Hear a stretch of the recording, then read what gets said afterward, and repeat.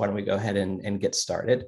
Um, so I'm Dan Slater. I'm the director of uh, the Weiser Center for Emerging Democracies, or WCED, and uh, welcome everybody to what is our first Flashpoint session of the year. This is uh, a new kind of roundtable we set up last year um, to try to capture what's going on in terms of current events in places of, of major uh, contemporary interest around the world. And so last year we did Flashpoint uh, events on Belarus, and Lebanon and on Hong Kong. So I would encourage everybody to go take a look on WCED's website and see those uh, those prior Flashpoint series, which we try to always involve someone who's from here at WCED as well as experts from from outside, which we'll be doing today as well. Um, and just to foreshadow, our, uh, our next Flashpoint event will be next month. It will be on November 9th, and it will be on Nicaragua uh, alongside the elections, which will be happening. Uh, not very competitive elections, but there will be elections happening in Nicaragua. Um, so we'll be meeting November 9th.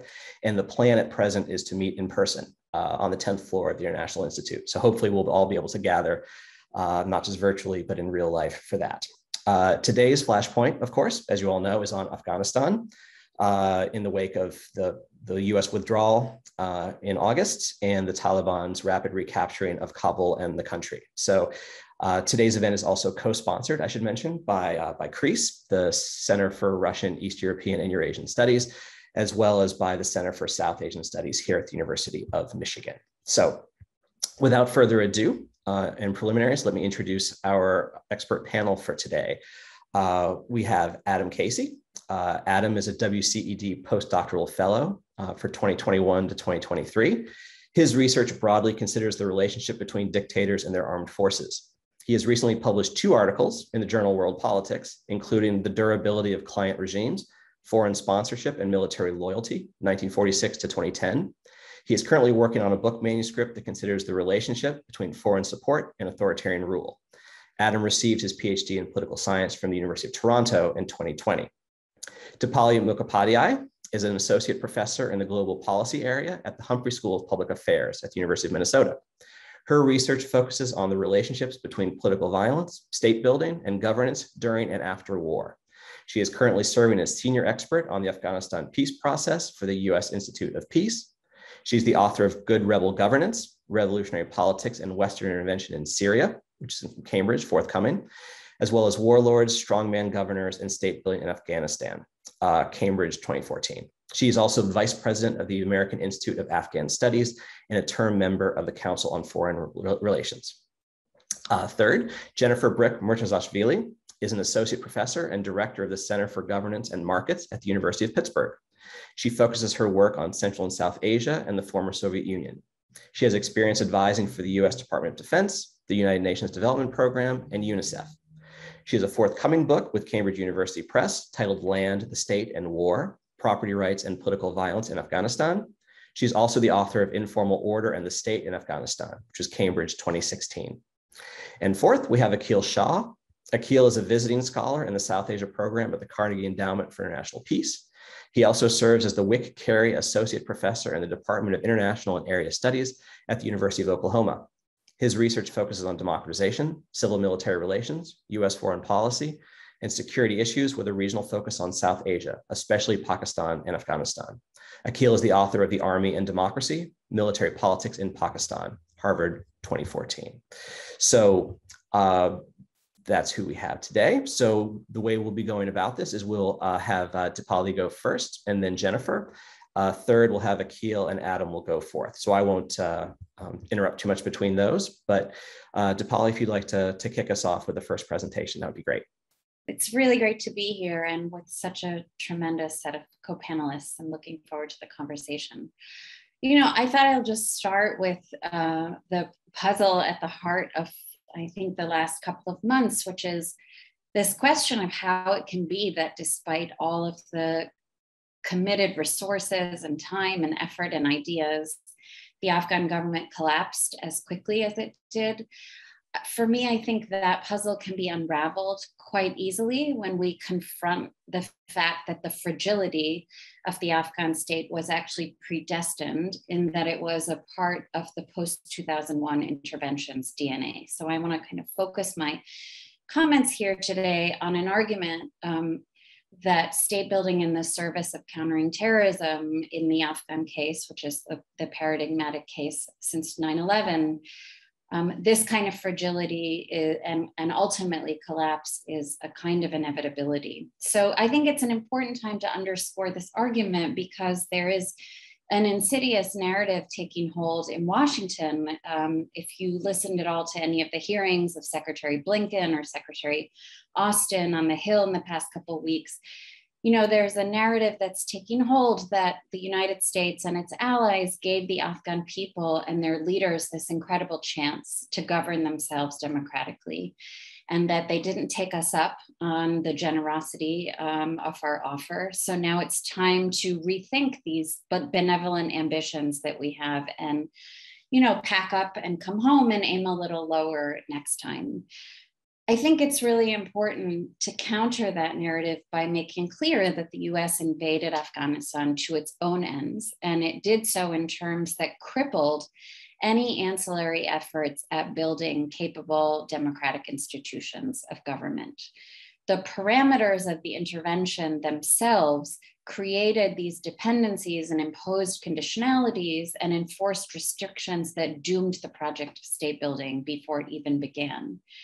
And so for me, you know, I've been very involved in evacuation and relocation efforts and setting aside the kind of despair of that experience from an intellectual perspective, it feels to me like the the end of this war um, is very much a coda kind of punctuation mark that exemplifies the American project, um, you know, of state building in the service of the war on terror.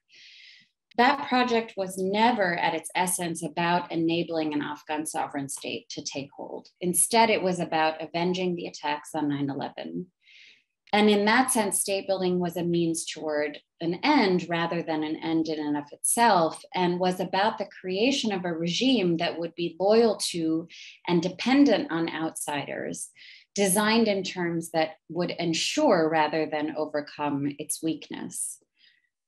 I think a lot of times when scholars compare different cases of state building and counterinsurgency in the modern era to those from the Cold War, or the post Cold War period, what they failed to do is acknowledge that the, the age of terror is novel with respect to both ends and means because of the perceived threat at hand. So, intervening states, as they have for many decades, concern themselves with regimes and rebels, but really of paramount concern were the so called terrorists who represented the defining actor in the site of intervention.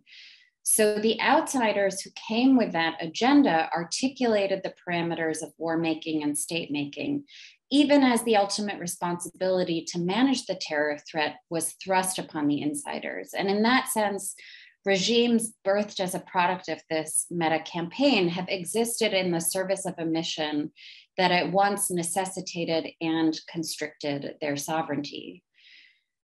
For me, the Afghan case is the pilot case for this latest version of international clientelism, which basically short circuits the extraction coercion cycle that we associate with state formation historically through the influx of this massive amount of, of foreign rent. And foreign aid, you know, and the Western support that came after 9 11 was predicated on the Karzai government and then the Ghani government's sustained provision of access to the Afghan territory for the pursuit of violent extremist actors. So, you know, a lot for me of what that campaign does is sort of underscore the variability and the fungibility of state sovereignty in the international system. Because the Karzai, Karzai regime owed its existence um, as the internationally recognized government of Afghanistan to this military campaign. And in exchange, began this new chapter of Afghan state building, but all the while it was unable to claim any kind of control, in large parts, even influence over large swaths of the country's territory.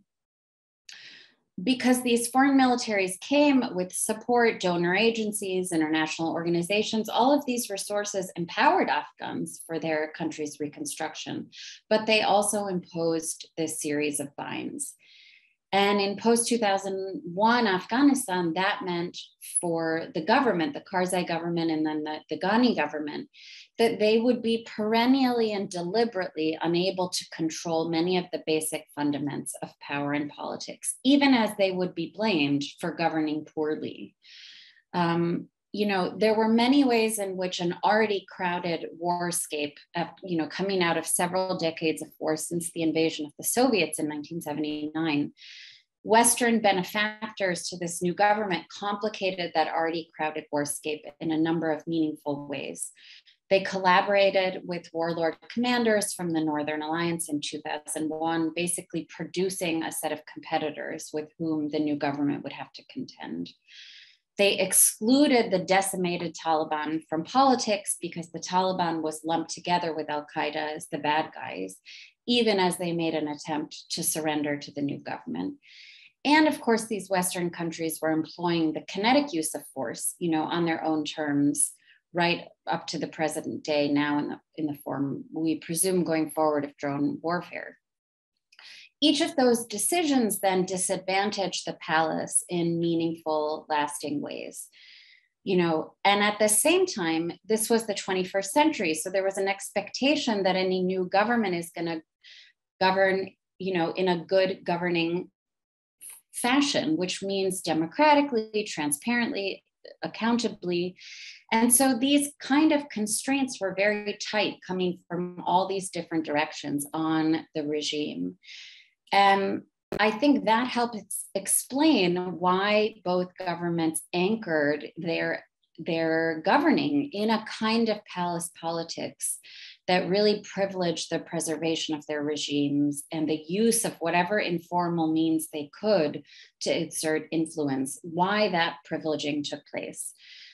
So, um, as Dan said, you know, I wrote my first book sort of thinking through the how the Karzai government transformed otherwise threatening strongmen into valuable governors. And of course, those governors didn't look like the type of good governors um, that the Western community would have preferred, but they did expand the presence of government in certain important ways. And more recently, I've stepped back and looked at the the larger subnational political map and tried to compare the approach of President Karzai to the, the next government of President Ghani. And, you know, what I basically found is that Karzai and his clique leveraged the authority to control appointments subnationally um, to remain just above the fray and to engage in a kind of political choreography, which a lot of people would not incorrectly read as corruption or nepotism or patronage politics, but for me, it looks a lot like what Joel Migdal, the sociologist, called the politics of survival. And you know, I've been looking at the full pantheon of governors under Karzai, it was close to 200, looking at how managing of power through politics was happening in that way. So when President Karzai was succeeded by Dr. Ashraf Ghani, the second president after 2001, a lot of people thought this is going to be a very different type of rule because Ashraf Ghani was cut from a very different cloth. He has a PhD from Columbia in anthropology, was a senior official at the World Bank, wrote a book called Fixing Failed States. Um, and a lot of folks thought, well, there's going to be a different sort of philosophy of rule here. Um, but those of us who have been watching Afghan politics since 2014 recognize little of his technocratic vision in Kabul. He helmed what was called the National Unity Government, which not incidentally was brokered by the US government itself, the Secretary of State. And if you look at this so called National Unity Government, it represented such a narrow constituency ultimately that when I was in Kabul this summer, just a few weeks before the government fell, people described it as the Republic of Three, which was a reference to the president and his two closest advisors. Um, the president was a member of this kind of returning diaspora elite. He had spent the formative decades of his career, but also the formative decades of the Afghan war in the West and I would argue wasn't able to draw as effectively on the same social political networks and solidarities as his predecessor and relied increasingly on this very narrow diaspora elite. And you look at the policies the appointments, the war plans, and increasingly could see that they were catering to such a small regionalized base of Eastern Pashtuns that the larger vanguard of the Afghan Republic, from journalists and professors to bureaucrats and soldiers, felt really excluded and ultimately disinvested from the Afghan state. So for students of comparative politics, you know, looking at Karzai versus Ghani, it didn't really come as a big surprise that President Ghani fled the scene with his two closest advisors and a few others before the Taliban even took Kabul, while President Karzai is still in Kabul, negotiating to figure out what comes next for him, you know, in this new chapter of Afghan state formation. I think the similarities and differences between the two presidents actually what they really tell us is what the impulse of leaders, you know, at the helm of these regimes, that those impulses, those very personal, particular predilections, end up driving the leveraging of the entire state in the service of their survival. So they use the currencies to which they have greatest access, and they're not incentivized to build sustainable institutions. And you know, ultimately, they're profoundly vulnerable, not only to whatever their own personal predilections were, but to the vagaries of their international patrons. And here I'll close by coming to the present moment then you know, the American pivot to peacemaking was made with the same strategic schizophrenia that had marked much of the war fighting. The US continued to support and defend the besieged government, even as it negotiated with that government's sworn enemy on that enemy's terms, because the Americans had decided the war was over. Um, and even though Ambassador Khalilzad, who was responsible for this effort both under Trump and Biden, had a phrase that nothing will be decided until everything is decided that evaporated and it became clear that the us decides everything you know was really the mantra all along. So the us military began to move this summer very rapidly to the exits and the afghan security sector was left holding the bag and largely unable to do so, not because its soldiers were unmotivated to take on the Taliban, but because, again, the entire fighting machine from design to operation to maintenance was predicated on the presence of American contractors, American air power. That was the kind of um, vulnerability that was built into this model. So the Taliban's rapid victory followed, I think, triggered not by some extraordinary capacity, certainly not by some groundswell of popular support, but instead because the American departure was a kind of defection that triggered a series of elite defections based on a calculation that the Ghani government could not survive the US departure. And that tragic self fulfilling prophecy is a reflection of the notion that I began my comments with that the survival and therefore the collapse of a post 2001 Afghan government were always contingent on the decisions of outsiders, even as those outsiders claimed to be building the Afghan state. So I'll leave it there for now, Dan, and look forward to the rest of the comment. That was that was terrific, Dipali. Really excellent. Thank you, uh, Jennifer. You are next. And muted. Unmuted. There we go share my screen. So thank you all for uh, the opportunity to, to speak with you today. And um, it's just a huge honor and pleasure to share the stage with such eminent scholars and friends um, and some new friends as well. So I, I, just wanted to, to follow up. I think Dipali's talk is a really great introduction to getting into sort of how the mechanisms of the state collapse took place. Um, and so I'm just going to, to, you know, I know many of us were really surprised when we saw the rapid fall of Kabul this summer. Um, I think I was certainly surprised by the, the pace at which the capital fell, but I was not surprised at all um, that the government fell in the way that it did. And if we look at uh, public opinion data on Afghanistan over the past, you know, this is sort of the most recent um, Asia Foundation survey of the Afghan people, you can see the national mood in the country has fallen significantly over the past several years. Um, and you can see that people who say the country is moving in the wrong direction uh, far outweighs those who think it is going in the right direction. um, you know, what does this tell us? Well, what was 2004? What was the pivotal moment that took place there? That was when the United States uh, really began the, its withdrawal. That's when the US moved from combat operations to it's an advisory and assist uh, position inside of Afghanistan. And it also represented the time when Ashraf Ghani became president of the country. Those are two pivotal events that happened at almost exactly the same time.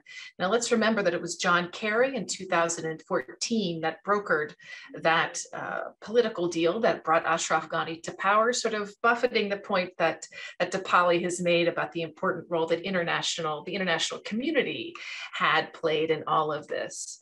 And so as we're looking at these, this public opinion data, trying to understand what's happened inside of the country, uh, I think many of us will be surprised surprised to learn that the insurgency inside the country had grown quite dramatically. If I mean, so the public opinion data actually reflects this growing insurgency, growing dissatisfaction with the government.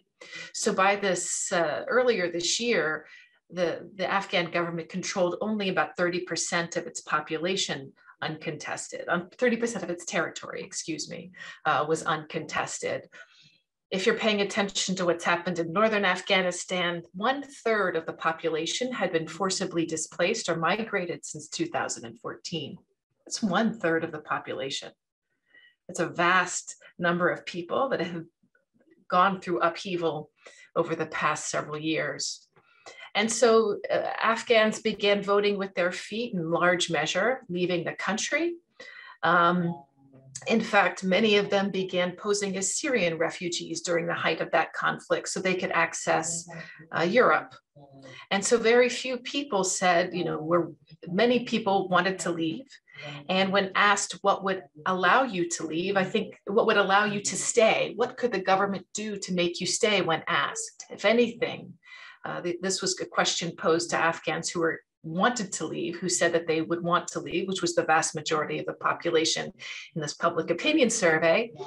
We focus on the security dynamics, which are obviously important. But the second dynamic, which I don't think has been given enough attention, is the opportunities for improved participation. And while we, we talk about the failures to build democracy in Afghanistan, I think one thing that hasn't received enough attention is the fact that democracy was truly denied to the people of the country for many, many years. And in fact, um, if we compare Afghanistan to 1964 to the, the constitution of the monarchy, which the Taliban have now reinstituted um, and the United States instituted in 2001, there were actually far more uh, democratic elections in, in, the 1960s than there were in the post 2001 period at the subnational level. Uh, there were no elections for the president that period, but during that period, there were elections for mayors, municipal councils, um, that never happened in the post 2001 period. So, in the public opinion survey that was uh, conducted late last year, Afghans were asked should the Constitution, the current Constitution, remain the Constitution of law? And only one third said yes, unequivocally. So, more than half of the population either said no, the current Constitution has to go, or the current constitution needs to, to be amended to allow for more opportunities for participation. So the rest of this talk really explains why that is the case. Why were Afghans asking for more participation? Didn't they have democracy? Well, what happened in the post 2001 period was a resurrection of old institutions. Rather than creating a new state based on a new social contract and a new vision, Afghans inherited the previous constitution, the 1964 constitution, which was simply amended and given a hyper centralized presidency, which fused the power of a king with a prime minister together. And this president, uh, had enormous power and authority uh, to make lots of appointments, all appointments at the subnational level.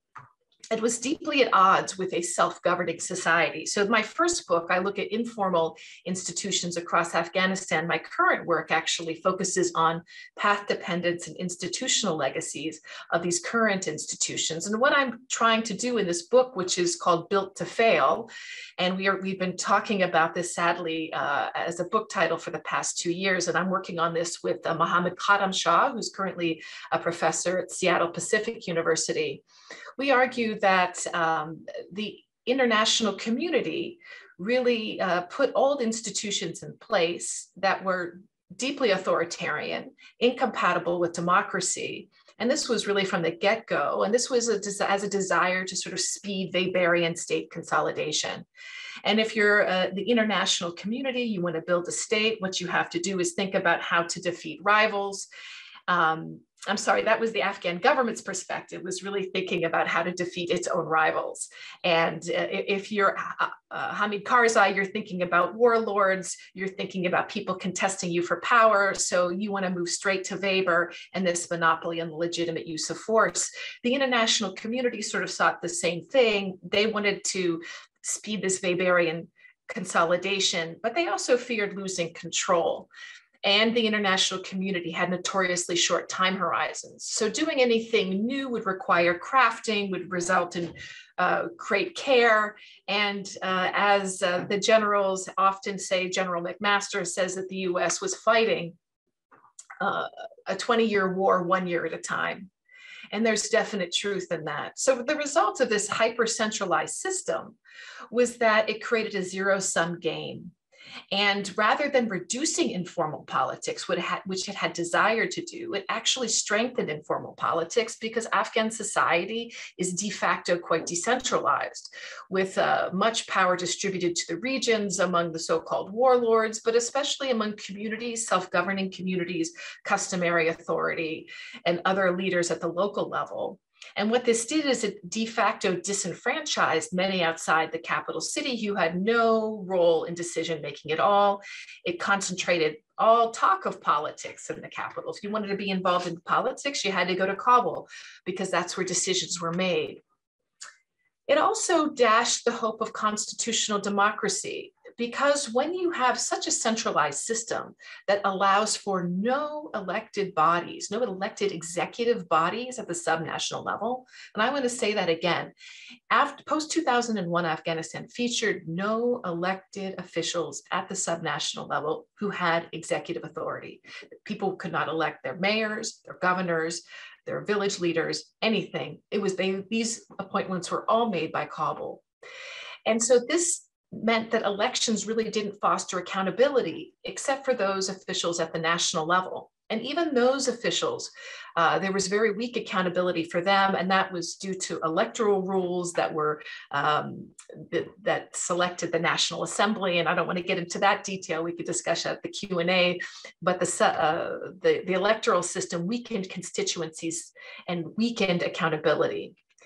Um, so this really weakened citizen-state relations. Citizens remained a subject to the state. It reinforced historical processes where the center saw the regions as a source of competition. And then it really enfranchised this winner take all system that left regions out to lose. So national level politics in post 2001 Afghanistan looked so similar to its historical precedents, despite the fact that citizen expectations of what the center was to deliver changed so much after 2001. It wasn't that the people of Afghanistan didn't believe in democracy or couldn't practice democracy. They were just never really given the opportunity to participate in a meaningful way. Yes, there were elections held for the president, and yes, there were elections held for the National Assembly. These elections were rife with corruption and people understood the patterns of corruption um, that were really mandated by the national level that trickled down throughout the country. And where the rubber hit the road in terms of governance was at the subnational level. And this meant that although there was a new government, people really received an old constitution. There were high expectations, as I've spoken about, that after 2001 that were really dashed. The electoral fraud undermined individual trust in the state and undermined trust in the government. And there were really missed opportunities for elections at the provincial, district, and municipal level. Um, and without having direct accountability to officials at the national level, that meant all appointments to all ministries were made from Kabul. And this wasn't so much of a problem under Hamid Karzai's rule, not saying it was perfect, but as Dipali has pointed out, Hamid Karzai understood that the rules of the game came from legitimacy of communities. He was very worried about state consolidation and used the tools of the state to do it, but didn't rely on them exclusively he relied on trust building, community building in, uh, in the state. And so he used the leverage of informal politics to bring diverse factions together under the umbrella of the state. This was done through formal means by appointing factional heads as governors, but it was also done through informal means, which was skirting the Constitution in order to affect political wins. President Ghani relied solely on the coercive power of the state. He tried to eliminate that kind of informal politics and enforce the authoritarian centralized rule of the center. He was no technocrat. He was an authoritarian leader who wielded the instruments of the state with little accountability and little desire to build accountability structures.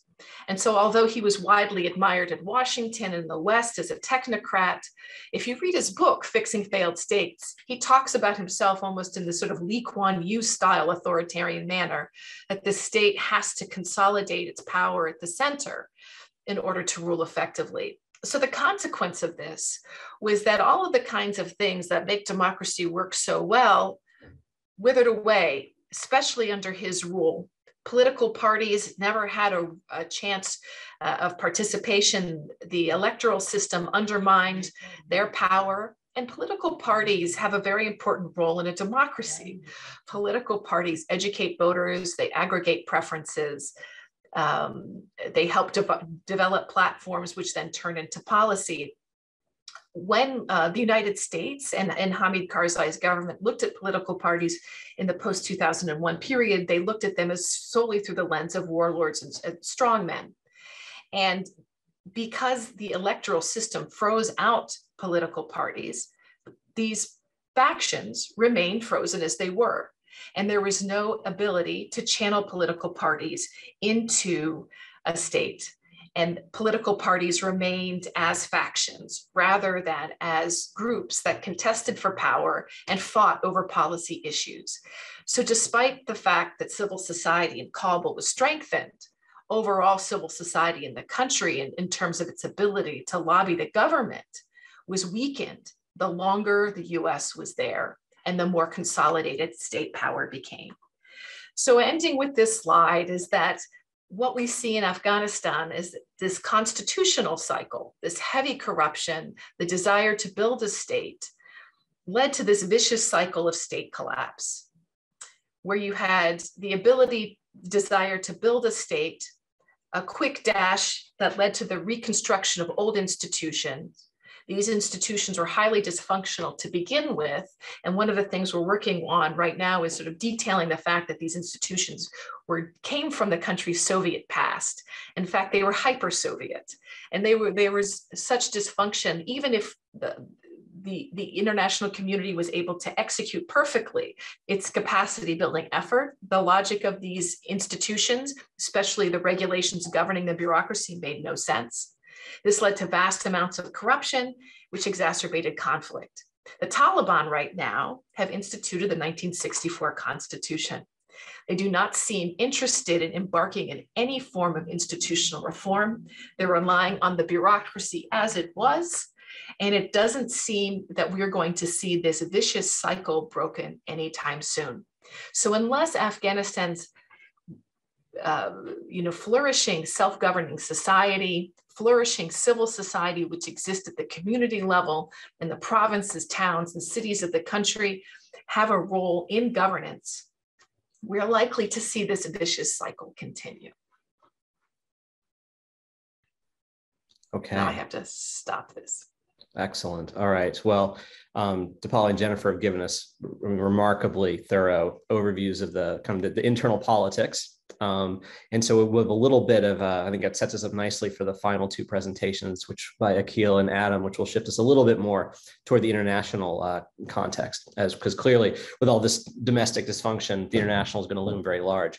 And I should say to the audience as well um, that we'll be having Q and A after um, Adam's presentation. And if you'd like to ask a question to the panelists, uh, you can type it into the Q and A, and I'll be I'll be curating those.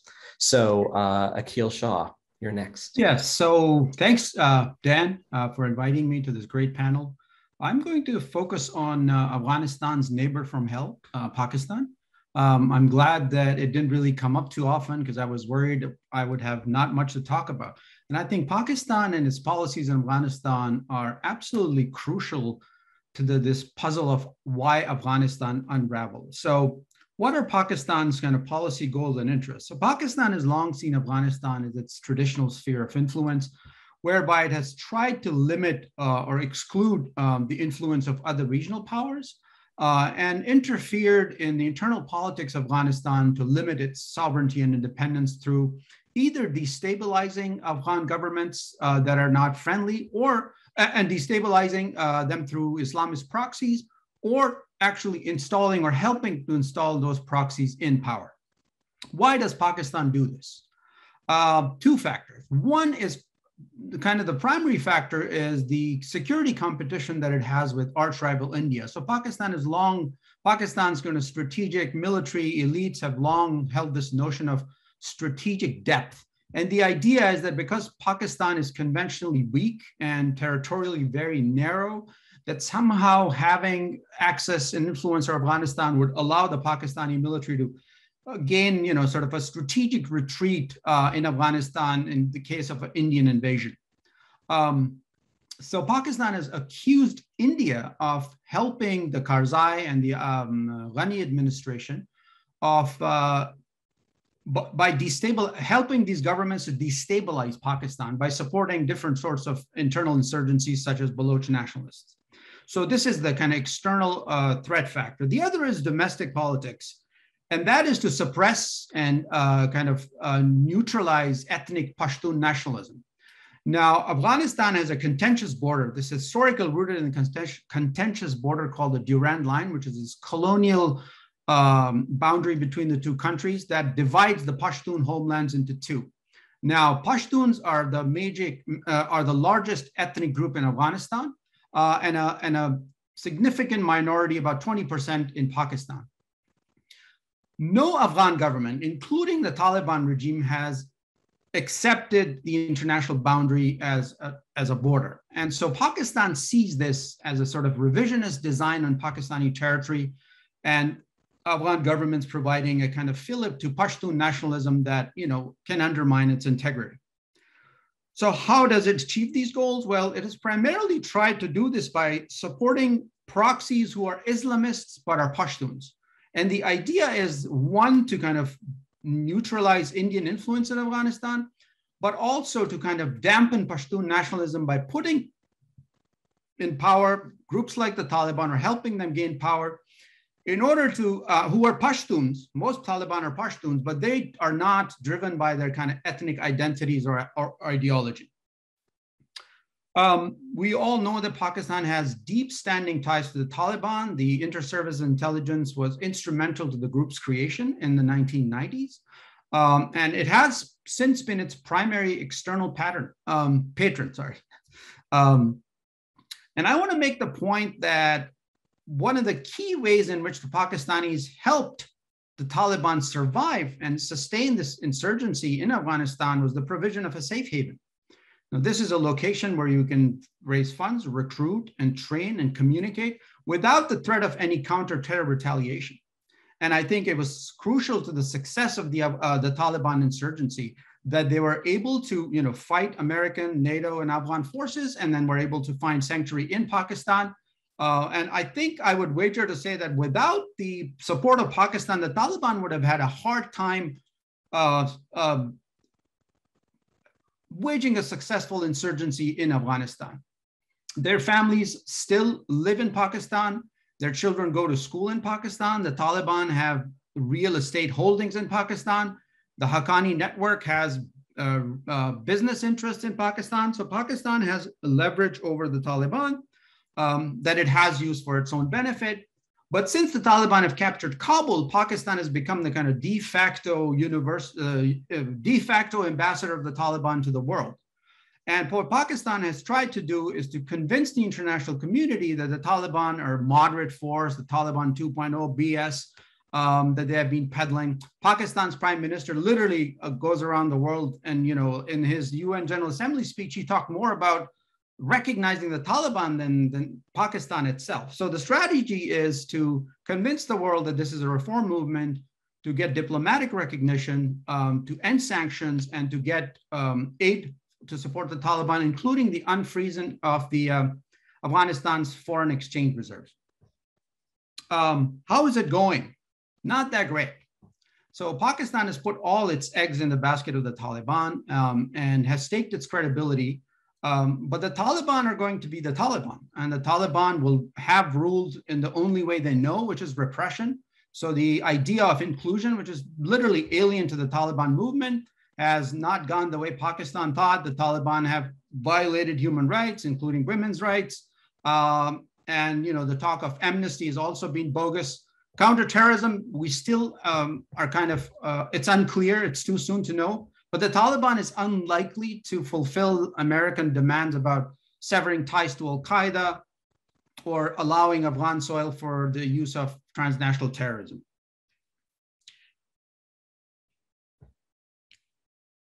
So the bad news for Pakistan is that the dependence of the Taliban on Pakistan may be diminishing. The Taliban now are in power and they need to demonstrate autonomy from this external patron to its internal constituencies and I think for, in, for internal cohesion. Um, and so it, ha- it also has now has access to other external allies such as Qatar uh, and is eyeing China's assistance in its reconstruction and development. Um, the other bad news for Pakistan is the resurgence of what is known in the Pakistani Taliban. Now, this is an umbrella of militant or sectarian and Islamist uh, Deobandi militant organizations that are autonomous from the Taliban, but have deep socio-political and ideological links to the Afghan Taliban. The Taliban in Pakistan have actually renewed their allegiance to the Afghan Taliban and see them as their kind of ideological um, mentors, as it were. Now, when the Taliban came into power or sort of ran ran over Kabul, the, one of the first things they did was to release thousands of Pakistani Taliban militants, including the deputy leader of the Pakistani Taliban, who has now uh, trying his best um, to impose Sharia in Pakistan. And Taliban have carried out over 70 terror attacks against Pakistan's security forces as well as civilians. Pakistan's hope is that you know their friends in, in, in Kabul will help them rein the TTP in, but the Taliban see no reason, have no incentive to do so. Um, um, the TTP or the Pakistani Taliban have fought alongside Afghanistan against American NATO forces. Um, and just for the re- for reasons of internal cohesion and sort of jihadist legitimacy, abandoning other militants like Tehrik-e-Taliban Pakistan could undermine the Taliban's claim to kind of a jihadist uh, legitimacy and also sow dissension in its own ranks. So there's not much hope that the Pakistanis will get um, what the Taliban want. Um, and so I want to close with that and kind of this, the lesson uh, for Pakistan and other states that support proxies for their own strategic interests is basically be careful what you wish for. Thank you. Wonderful, Aqil. Thanks so much. Um, and last but not least, WCED's own Adam Casey will go forth. All right, thank you. Um, is this, uh, somebody just tell me if you cannot see this, I guess. I could, we can see this. Okay, great. Um, so I just want to thank WCED for inviting me to share some brief remarks today. Uh, this is a really esteemed panel with a lot of scholars who taught me a lot about Afghanistan and Pakistan, so I'm really happy to be here. So I won't claim to be much of an expert in anything, uh, but my work does look at comparative efforts by foreign powers uh, to build military institutions in client states. So I want to talk today about what we can learn by situating the American effort to build effective security forces in Afghanistan in comparative perspective. So What's pretty familiar to everyone at this point is, you know, on August 15th, after nearly 20 years and about $88 billion spent, the American backed government of Afghanistan collapsed. So despite pouring massive pouring in uh, pouring in massive resources, we failed to build an army capable of surviving even until the end of our planned withdrawal. Now, this is becoming something of a familiar story for recent American foreign policy. So, in our other recent foray into army building in Iraq, uh, we built Iraqi force. You know, so the U.S. built Iraqi forces, collapsed after uh, nearly collapsed in the face of a few thousand Islamic State forces in 2014, which prompted another U.S. military intervention. So, unsurprisingly, connections were made pretty immediately to the fall of Saigon in 1975. It's also led to reevaluations of America's failure to build effective security institutions um, elsewhere. So, you know, Rachel Tecott recently wrote in Foreign Affairs that all of America's efforts to build partner militaries have, quote, failed spectacularly. So, while the attention to this problem is fairly new and likely, unfortunately, to be fleeting, this question has actually been asked by scholars for decades. And I'll focus a little bit just on kind of two main problems. So, you know, one of the major problems with foreign military building abroad is it generates tremendous opportunities for corruption. Um, in Afghanistan, ghost soldiers, which is soldiers that exist on paper, but in fact, the pay and uh, the various materials allotted to them uh, are pocketed by commanders, were thanks to SIGAR in Afghanistan, an extremely well known problem for many years. And another issue that I think a few of my panelists have touched on is that with the foreign intervener directing their own troops to fighting insurgents, client governments, in fact, almost feel relatively safe to focus their energies on political survival. In most cases, you know, shuffling around their military command and filling it with cronies and allies rather than investing in military capacity. So there are certainly plenty of examples of failed army building by the United States abroad. Um, so Cambodia is a very sadly forgotten foray into army building by the United States. We paid the entire defense budget of the Cambodian armed forces and spent ultimately some $9 billion on the war. Uh, we did our own audit in 1972. We found only 6 to 8% of salaries were actually going to individual soldiers. Here we have a nice quote from Henry Kissinger learning about this fact. So when the US backed dictator Lon Nol was confronted with this, he responded, quote, calm down. The Americans are killing a thousand of our enemies every week. Victory is ours. Victory was not ours, and our efforts in Cambodia failed. So in April 1975, the Khmer Rouge marched into Phnom Penh as we frantically evacuated our personnel. And so, what was the US retrospective on this failure? What lessons did we learn? Well, first, Henry Kissinger again here suggests maybe we just didn't drop enough bombs on Cambodia. And in fact, this is a critique that's recycled uh, prom- frequently today. Um, here we have the man who just will not go away, Scott Walker, suggesting that maybe we should just bomb Afghanistan again. But did we really not bomb or, you know, spend enough military resources on Cambodia? We dropped more bombs on Cambodia than all of World War II combined, which maybe killed as many as 500,000 civilians. Very little evidence we did not put enough into Cambodia, and that is why we lost. So we are far from the only country to have attempted to build militaries abroad. This is a very non exhaustive list, the Soviet Union built militaries from scratch in many places Bulgaria, Eastern Germany, Hungary, Mongolia, North Korea, Poland, Romania. Vietnam built an army completely from scratch in 1979 in Cambodia, and they drastic, dra- dramatically transformed the army in Laos that rules to this day. So there's a lot of other efforts. So, what do we learn from these other efforts to build militaries abroad? So first, it's a lot easier to transform an existing army than it is to build one from scratch, which is what we tried to do in Afghanistan eventually, not necessarily right away. And the second is that the Soviets did a better job than we did building politically loyal armies, but not necessarily better at creating armies that are good at fighting wars. So we'll talk about that now. So were the Soviets better than us at building militaries abroad? So it really depends on what you mean. Soviet Union was really effective at building armies loyal to pro-Soviet political regimes. So some of my other research demonstrates Soviets have pretty effectively exported their own party army model, which was really effective in preventing military coups. Soviet clients on average lasted substantially longer than American, French, or UK-backed regimes. But the evidence is much more mixed for military effectiveness. So part of this is challenging because it's really hard to know if an army is effective if it's not fighting a war. Is the North Korean army currently effective? Were the East European armies effective? These are actually really hard. That's a really hard thing to say.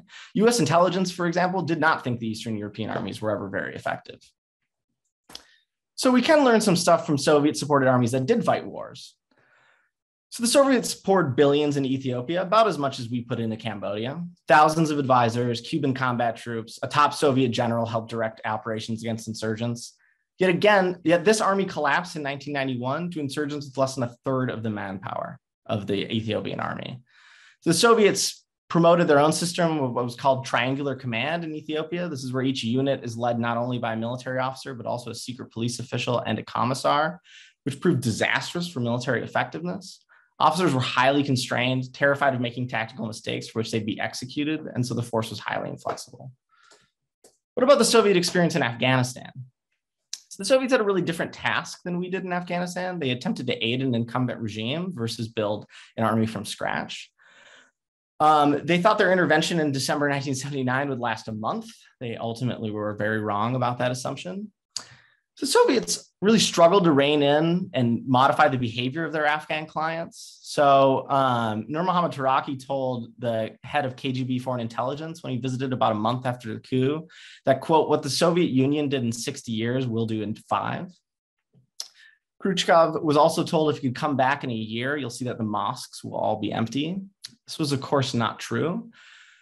Um, a massive insurgency ended up embroiling and ultimately, eventually overthrowing the Afghan government back to the Soviet Union's. So the Soviet Union, like us, also struggled with bureaucratic rivalries. Soviet intelligence agencies often backed different factions within the Afghan government and struggled to coordinate their behavior. The Soviets, like us, really struggled to build effective logistics systems that would function on their own, prevent desertions. Preventing desertions was a huge problem for the Soviets, and building an effective, complicated units, especially like air forces, were, were really difficult for Moscow. They really struggled to Afghanize the war. And ultimately, they built a very repressive Afghan state that achieved reasonably strong party control over its own uh, uh, state personnel that was able to effectively put down several coup plots. Now, the Soviet, in fairness to Moscow and Najibullah, the communist regime outlasted everyone's expectations. Here we have an estimate from 19, September 1988 of the CIA suggesting that the Soviet backed regime would probably last six months. Many people remember that was also the estimate we gave to the um, regime in Kabul, but in this case, um, the client lasted about uh, four more years.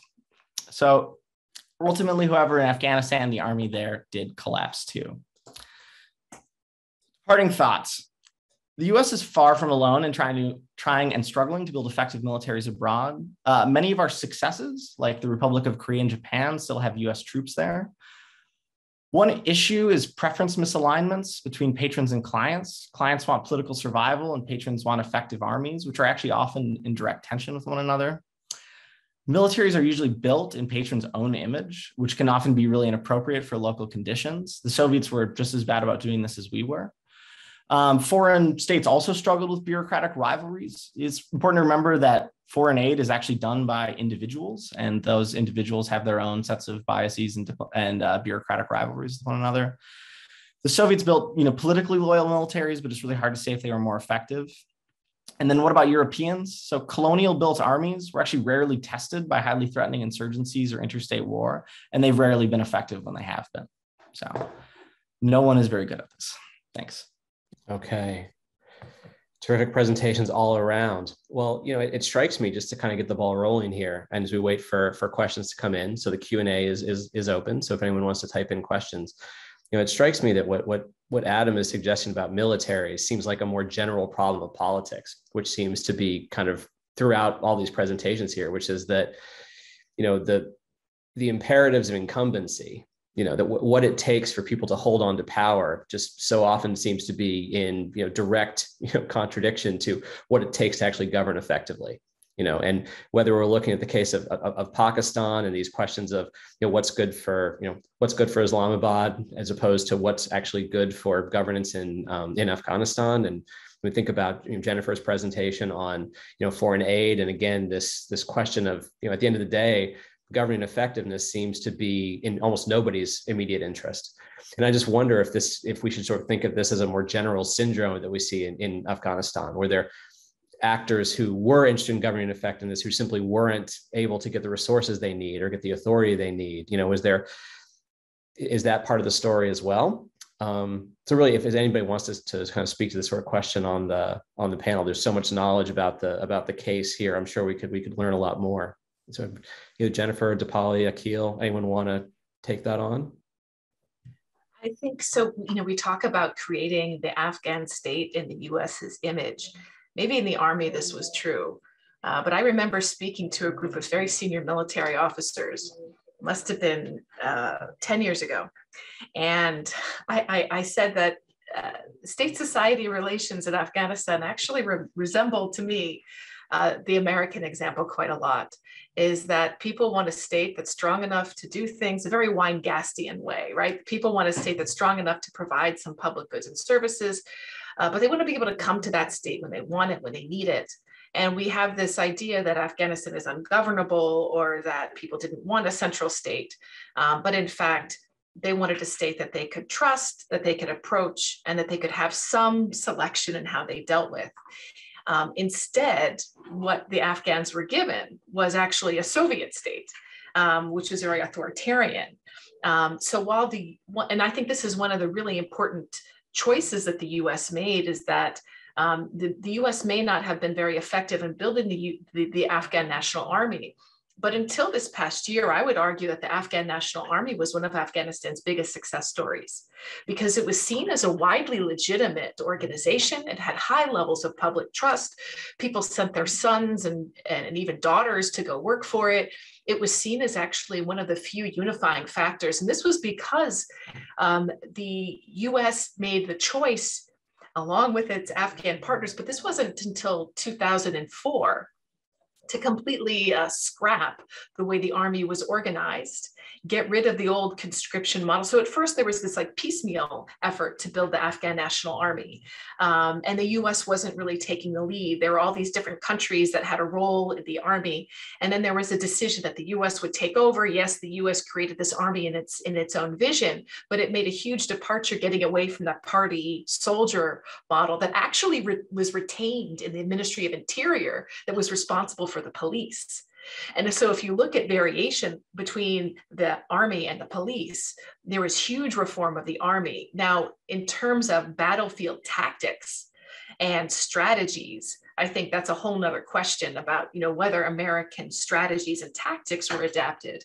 Um, but it, to me, it's very interesting that that's one area where there was actually substantial reform. Um, there was much more bottom-up processes in terms of, at least under under Karzai, Ghani changed that quite a lot. He re-centralized many aspects of the army. Um, he put military commanders under his control, and this was even, uh, you know, prior to this past year, where now it's really been revealed how much control he asserted over the army. Karzai was had a, a much more hands-off, uh, allowed sort of the civil service and the Americans to play a much larger role in that. So I think these are really interesting questions, and and I don't think there's any easy answers to any of this. Maybe I can just jump in, Dan, and say that you know I think the other piece of, of what so the other side of the coin of what Jennifer is describing is also, I think, the kind of hypocrisy of, of outsiders who claimed that governing effectiveness was in fact their goal, when in reality, the ways in which they engaged with politics, with coercion, with capital, you know, whether it was through aid, whether it was through militias, um, whether it was through you know talking a big game on anti-corruption while at the same time having clients who were doing counter-terror work on behalf of the US government. These these kinds of hypocrisies in a lot of ways i think made it impossible for any sort of governing imperative to really take hold. And i think in the past in afghanistan we've seen um, and this is often, I think, a point that's missed various forms of government, you know, and various forms of governance that interact in different ways and balance formal and informal institutions are more or less decentralized. Um, but I think that's it's an it's just important for us as outsiders and for donors and for intervening actors to really reflect on was it really a government that, you know, was it really state building that was actually the project here? Or was it about instrumentalizing politics and power in the service of outside interests?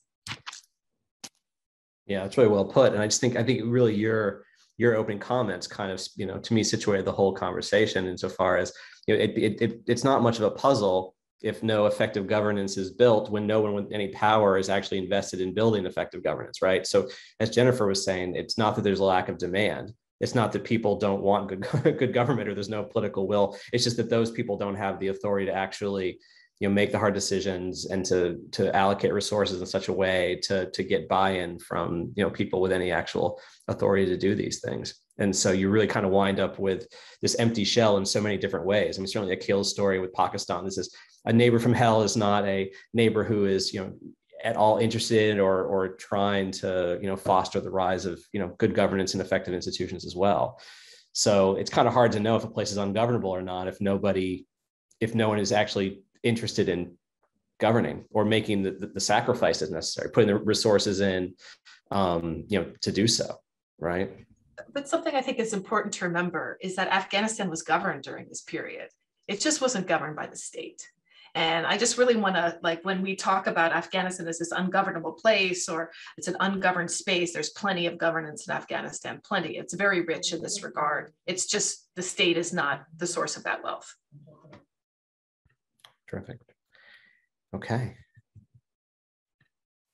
Okay, we have a couple of questions just starting to filter in. Others are certainly welcome to, to do so as well.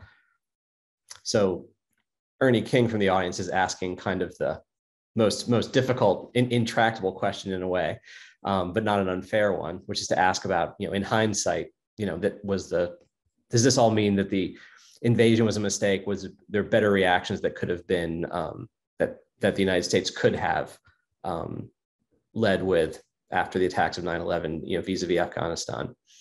Um, I guess one sort of speaks to the question of is you know how how how doomed these things are from the outset how much this is about the way things were implemented versus something that there was never any, any prospect of success, which of course speaks to Adam's you know, question here, like, are these things ever, you know, are there ever successful versions of these? You know, is this something where we should just immediately think external intervention in these sorts is always something that's going to be doomed to to fail or are there ways to do so in ways that are less destructive that are maybe are more effective for building governance whether through the state or to jennifer's point through through civil society these are big, these are big, hard to answer questions, obviously.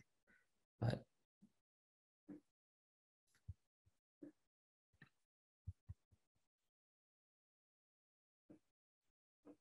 I mean, if everyone's feeling shy, I can jump. I can jump in. I mean, this is really the million dollar question, the counterfactual that I really struggle with as a person who first got interested in Afghanistan in the summer of 2001 and made my first trip there in 2004. And, you know, it's interesting to look at Jennifer had the Asia Foundation polling to think about the different moments where I was there over the last 17 years, kind of and feeling the that sense of possibility and then the sense of despair and kind of that roller coaster you know, I think that there are a couple of strategic decisions that were made early on that had they not been made, I think would have would have made a big difference. The first of which is I think the notion that decades of war would be brought to an end without any kind of a peace process was an absurd uh, basis upon which to begin the project of, of building a new state. And as I said in my comments, you know, this idea that you would soundly defeat the previous regime. And then when the leaders of that regime come forward in order to surrender and to be accommodated, as has consistently happened in Afghan politics over the years and in many other places of, across the world, for them to be marginalized. Um, your basic, you know, it's like de-Baathification in Iraq. You're essentially laying the groundwork then for an insurgency. I think the second piece of that is that we know from the social science literature that insurgencies thrive with safe haven. And this comes to Aqil's presentation that to think that you could engage with Pakistan as a partner with such a long leash, with no real sense of accountability in any way, shape, or form, as an insurgency then is able to read the Taliban is able to reconstitute itself and literally kill American soldiers, not to mention all of the Afghans that were killed. The illogic of that policy um, for me is really a tough one to get my head around.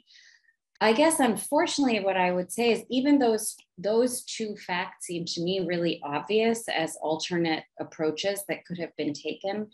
I have very little confidence from what I've seen of the US government's approach to foreign policy in general. And here, maybe to Adam's point about how these things are difficult for a variety of reasons, I'm not confident that that either of those decisions would have been made had it been a different president. I mean, we have many different administrations, many different political parties and persuasions who, who made these mistakes. Um, and that that is a very unfortunate, I think, because they don't see it doesn't actually seem impossible to, for this to have gone differently in that sense. Yeah, that's a great point. And I think the there's the you can ask this question both ways there's the question of afghanistan's governability and there's also the question of you know america's capacity for governance you know whether at home or abroad and when you see the you know the, the, the kind of the mistakes and the you know the lack of the lack of effective steps taken by multiple administrations it suggests it's something pretty hardwired into american approaches to to governance itself you know you know perhaps um, certainly not a you know a very a very soothing thought um, but i think something that that this certainly invites us to, to, to, be to be thinking about as well. I Jennifer? think once those issues of resources, um, you know, at that post 2001 period, we look at this counterfactual, like what could have been done differently.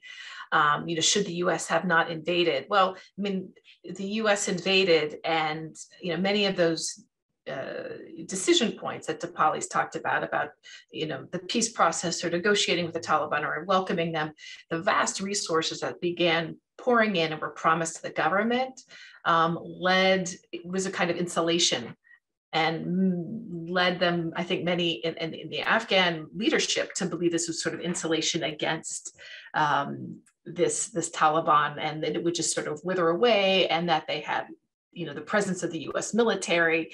And you know there was no talk about a quick withdrawal at that point. It was uncertain about what would happen. And very quickly um, the talk turned to nation building or state building. And it, it didn't really ramp up into this full-blown thing that we saw until several years later. But the resources certainly crowded out. Many of those i think more constructive conversations, which I think lead us to have to have many very honest conversations, not just about military assistance, but also about civilian assistance. Okay, great. Okay, we've had a couple more questions. Oh, Aqil, yeah, please. Was that a, and you're, you're muted. You want to? Well, the Doha peace process or so-called peace process, really a death sentence for however ineffective and you know corrupt the afghan government was that was the kind of sense of abandonment. And then forcing the afghan regime to release 5000 taliban fighters and pretending that they would go and i don't know open a restaurant or a shop 90 or 80 to 90 percent of these guys went back to fight. And i think it was general milley or austin testifying before uh, the senate i believe was said well when we let them go, I think the Taliban got stronger. Well, duh. I mean, what did you expect? So Doha was really, you know, kind of sidelining the Afghan government and uh, just talking directly to the Taliban and, you know, giving them the legitimacy, which allowed them then to use Doha to, you know, kind of gain broader international legitimacy and travel to China and, you know, kind of find more backers for for the eventual for their eventual return to power. I'll just say one final little thing. Um, so I think it's worth remembering the proposed budget for the Afghan army in 2002 was $1 million that we wanted to fund. We initially were very uninterested in building a strong Afghan army. We, orig- we later came to spend an astronomical sum. The counterfactual obviously is had you invested much, you know, many more resources right mm-hmm. away, could you have built something slightly more effective? Had you built through the Northern Alliance rather than trying to to, to build something new? I mean, I think like these are reasonable questions to ask. Um, so I think that's like something worth keeping in mind that, yeah, maybe we could have done something, you know, different or you know, the other classic is not shifted our attention immediately to Iraq. So, um, but I think lots of missed opportunities early on, whether those would have ultimately changed the course is really difficult to say.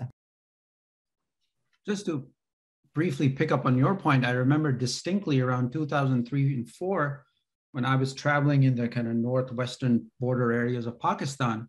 and I could see signs of the Afghan Taliban kind of making a comeback, and the Haqqani network had begun to kind of um, replenish their ranks. Um, and I asked an American diplomat, I said, Do you guys care? Like, you know, what's happening? And he's like, That's not really my brief.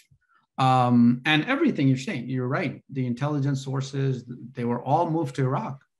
And I don't know what was going on in Afghanistan and that, you know, that kind of distraction or whatever.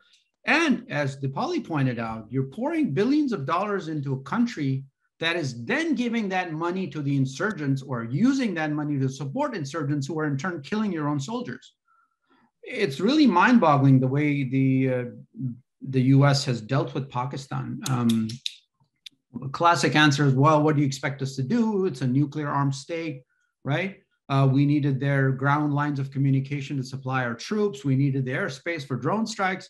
All that, if all of that is true, and you know, kind of if, if you look at it pragmatically, but at the end of the day, you're enabling and empowering within Pakistan uh, the military, which is completely unaccountable, which has you know um, been supporting the Taliban at the same time as it's repressing civil society in Pakistan. And you're kind of enabling and empowering them by giving them more resources, but also by not saying, you know, by not even reprimanding them, right? So looking the other way, while Pakistan is doing whatever it can to undermine your interest in Afghanistan, um, but you're still giving them money. It's really a perverse, you know, you created that perverse incentive for Pakistan.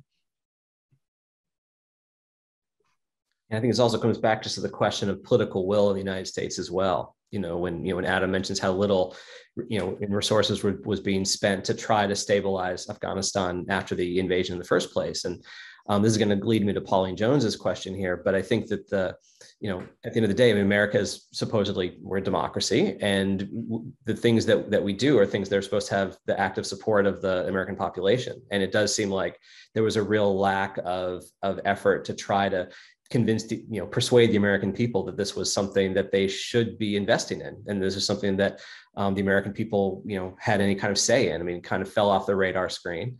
Um, and so at the end of the day um, you know so pauline jones asked about you know whether the withdrawal itself could have been done differently and would withdrawal at any other point in time have led to a better outcome. But i just kind of want to situate that in the broader context of withdrawal seems like it had to be inevitable in the sense that there just wasn't you know domestic political support for it right? And for the, the kind of costs and the kind of resources that were being so given if, i mean if, if my point is is is well taken and if it's correct that essentially withdrawal was made inevitable by american domestic politics if nothing else then within that within that universe how do we think about the politics of the withdrawal itself? Um, what could have been done differently and whether this was essentially um, you know something that couldn't that could not have been done in a more stabilizing manner perhaps. Anybody like to step in i mean i can jump in on this because i've been in you know in dc thinking about this a lot. Um, i i actually don't think that I don't think Americans were particularly concerned about the presence of 5,000 and then 2,500 US troops on the ground. I don't remember this animating any domestic political conversation until President Biden put it center stage. And one of the things that has been very striking to me is how upset Americans have actually been by, which wasn't something I was expecting. My assumption was, to your point, Dan, there isn't will, political will for these kind of efforts. Um, people want forever wars to come to an end, and they they end however they end. Everyone will be glad that they've ended that way.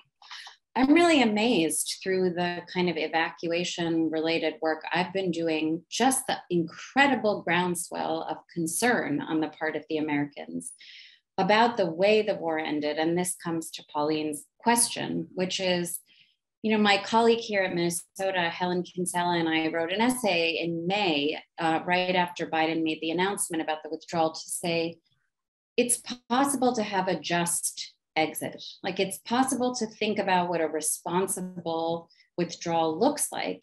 And here, to Aqil's point, I think the the whole premise of the Doha process, if had it been genuine, was to link the withdrawal, which was the number one wish for the Taliban, was to get rid of these last American troops, to link that withdrawal to a peace process. Mm-hmm.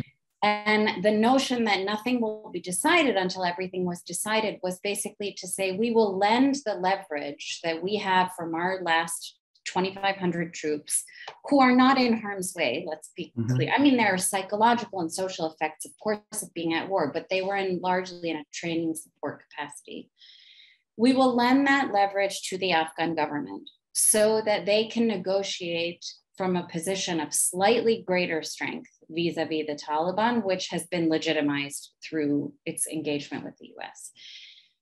I feel quite strongly and was part of the Afghan study group effort. And, you know, there were many conversations going about uh, on about this for quite some time in the lead up to the withdrawal that had that phrase, nothing is decided until everything is decided, had we given that even a shot, at a minimum that the, the Afghan government would have been, been in a slightly better position to negotiate some kind of an, an outcome in which some of the all that has happened in the last 20 years and as jen said uh, the history you know of governance in afghanistan and politics and constitutionalism and other things could have been in some way preserved rather than wiping the slate clean.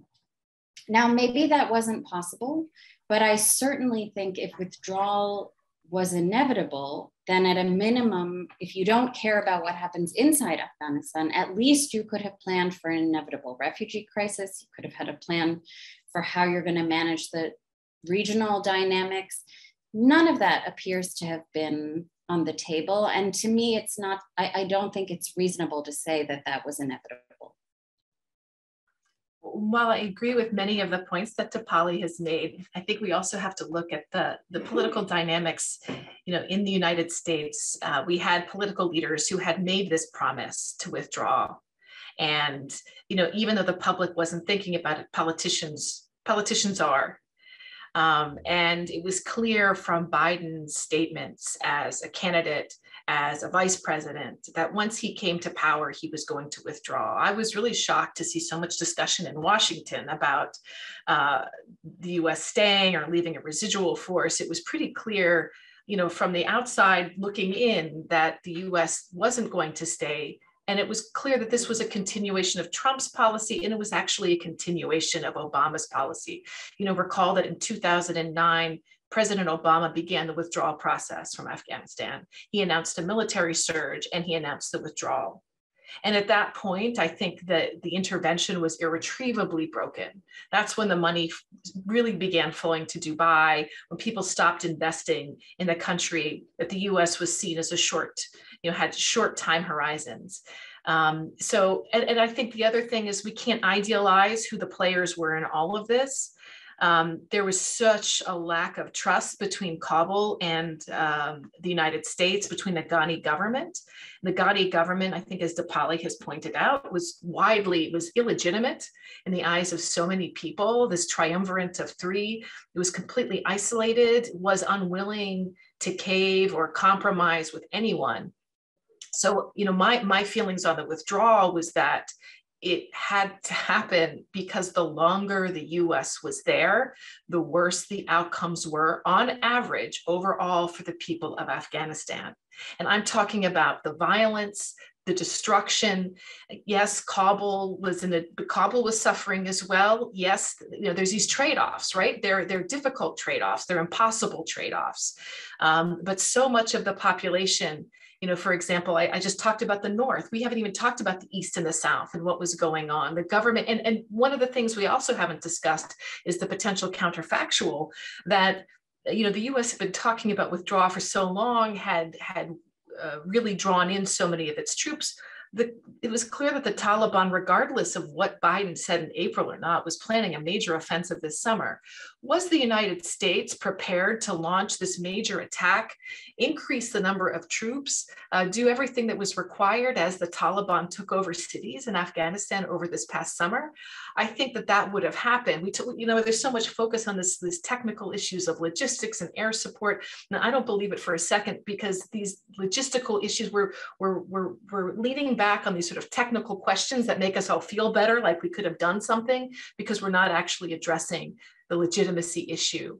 And the legitimacy issue, people were not going to fight for this government any longer for the reasons that Dipali pointed out. And people were tired. And if the, the Taliban did a, a brilliant thing by promising surrender, if you hand over your weapons, if you go back, you know, we're not going to touch you, go back to your village that was the new strategy and they deployed it brilliantly and led to like the very quick collapse of the government. Yes it was accompanied by biden's announcement but that was a long time coming. That's right. So we have about five minutes left and so what i wanted to do is focus on one last question and let everyone give everyone a minute or so to, to, to respond to it. So uh, natalia forat who is a who's a fellow at wced asks about the future of the taliban regime and since the Taliban does not seem to be into power sharing, it seems like it'll have a lot of the same flaws as the Ghani regime, not incorporating local communities, not allowing participation. So, to each of you, so what kind of vulnerabilities would you expect this regime to have down the road?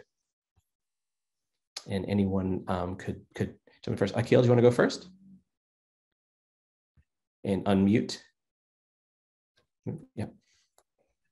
You know, there's this notion that there was this other Afghanistan outside of Kabul, uh, which uh, you know kind of heaved a sigh of relief from all the this you know the never-ending war and the repressive Afghan security forces. And so that may be true, but that's only if the Taliban can deliver. If the Taliban, um, they don't have any, you know, obviously they're illegitimate, but they need to have some performance legitimacy. That is complicated by the fact that, you know, Afghanistan is facing what the UN has called a humanitarian catastrophe. Um, and when you face legitimacy problems and when there is some resistance, the Taliban are going to use repression. The more repression they use, the less legitimate they would appear to the international community. Um, and the less likely that they'd be recognized and they'd get the kind of humanitarian aid and other aid that they need to govern. And so, in my, I think the, the death knell would be the lack of legitimacy uh, and the way they govern. The, the idea that they would share power is, you know, they're they're saying we won. Why would we share power with the losers?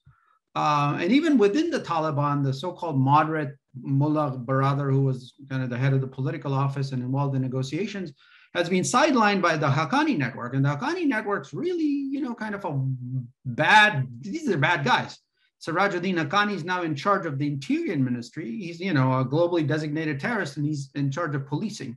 Um, and so I don't know how, how they're gonna it, the international recognition that that they desire is unlikely to be you know unlikely to come unless they can show that they can govern. But they only know how to govern in a repressive and kind of exclusive way. So there's going to be trouble. I don't know when or how long it'll last or whether it'll happen but that's my um, guess reasonable Great. guess.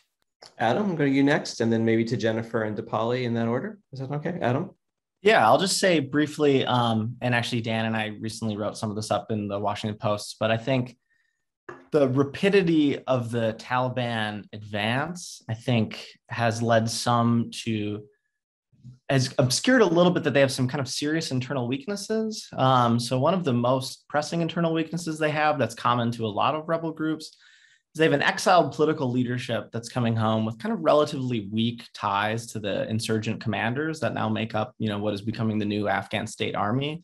And in particular, they have a real problem where they have this Haqqani network that Aqil just mentioned, which is actually quite autonomous and um, has been put in charge of the interior ministry. And the uh, Mullah Omar's son has been put in charge of defense. And so you're looking at pretty soon a pretty serious kind of looming potential um, uh, splits within the Taliban regime that I think it's really unlikely to have to suspect there's going to be any kind of major unifying uh, force within them now that they've overthrown the government. So I think they have a lot of internal weaknesses um, that are unlikely to be solved in the in the medium term. So thanks, Jennifer, and then Dipali. Their reliance on coercion uh, to maintain their rule is going to undermine everything that they're trying to do. And the worse the economic outcomes are for the country, the more that they're going to have to rely on this. Uh, that sort of seems inevitable because of the issues. You know, people are talking about the the women teachers, uh, and and and the, the Taliban right now they're playing this game. I think it's it's strategic with the international community bargaining rights for aid. Uh, it seems that this is really what's going on here. Uh, so it, it, seems that that uh, access to aid will be granted. The, the Taliban have this incentive right now to sort of pull back on all these things and and say unconditionally you know the, the teachers we're only banning women temporarily it's until conditions get better and so this is allows them to hedge negotiate with the international community to get the kind of aid that they want and the hopes that um, this aid will alleviate the economic situation. And by doing so, the Taliban make the same strategic error about performance legitimacy that the United States and others have. Yes, the economic situation is dire. They, they, they, they now talk about, you know, Rome, what, there was a quote like, Rome wasn't built in a day. I read that one of the Taliban leaders said this, right? Um, that Rome wasn't built in a day. And so they have to rebuild the country, re educate everybody. Um, but this goes back to the notion that it's stuff that buys you legitimacy.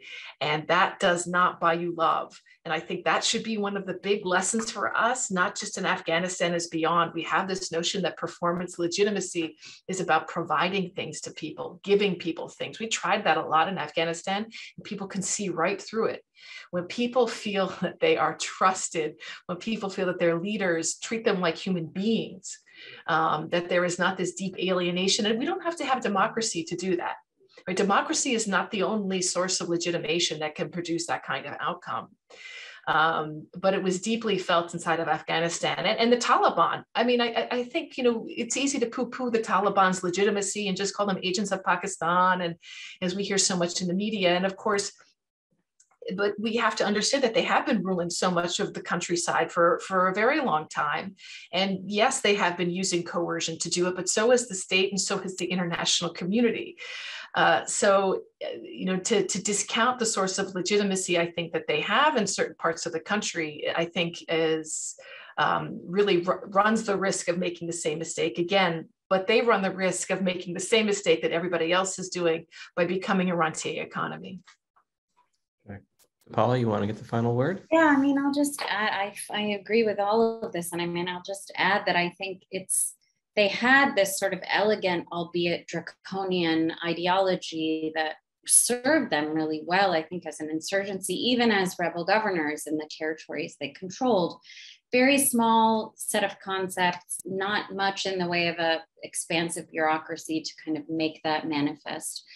But that's very different than governing an entire country. You know, the kind of urbanization we've seen, the age, average age of an Afghan is 19 the sort of narrow totalitarian project, I think it doesn't really, I don't think it will have the same legs across the country, particularly in urban areas. And I also think, you know, the, the challenges internally that Adam described are important, but so too are the international challenges for the Taliban.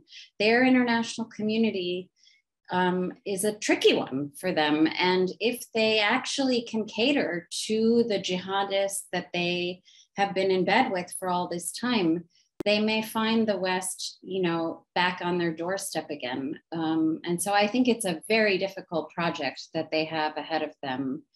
Uh, but I think we're going to be studying them as an insurgent, as a remarkable insurgent success for a really long time as well. Okay. Well, thanks again to everyone for this great conversation. Just to remind everybody that the next uh, the next Flashpoint series we'll be having, um, hopefully in person, COVID willing, on November 9th uh, on the case of Nicaragua on the 10th floor of the International Institute. Uh, but most importantly for today, just want to thank everyone for being involved. Thanks so much to Derek Groom for, for setting up and running this with such aplomb as always, went beautifully, I thought. Um, and to Adam, to Aqil, to Dipali, to Jennifer, thank you so much for uh, joining us and speaking to this, this case, which a couple months ago seemed like it was the only case people would care about. And now it's fallen off the radar screen again. Um, so hopefully, you know, the, with the kind of attention you guys are paying to the case, uh, you know, make sure people are informed and aware of, of all that's going on in Afghanistan as we speak. So uh, best wishes to everybody. Thanks again for joining us and looking forward to seeing you at future events. Thanks, Dan. Bye. Thanks. Bye, everyone.